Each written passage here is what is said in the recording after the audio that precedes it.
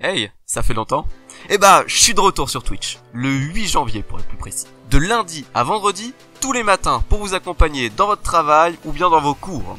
Au programme League of Legends, c'est le début de la saison 14, Pokémon Ultra Lune en mode Nuzlocke Challenge, hors de question de perdre cette fois-ci, Minecraft sur le serveur Nation Glory, on a un pays, on doit le gérer, objectif être dans le top du serveur.